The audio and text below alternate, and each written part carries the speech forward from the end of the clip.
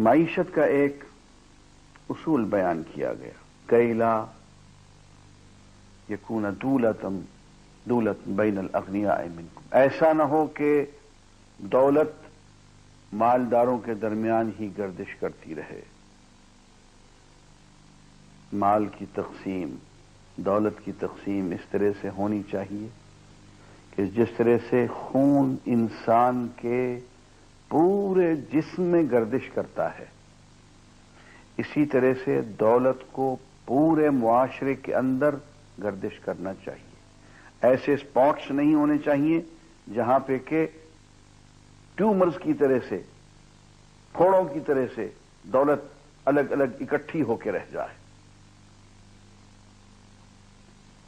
और फिर आगे चल के फरमाया कि अल्लाह के रसूल जो अता फरमाएँ, वो ले लो।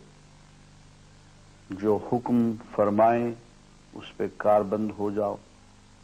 और जिस चीज़ से मना फरमाएँ, उससे रुक जाओ।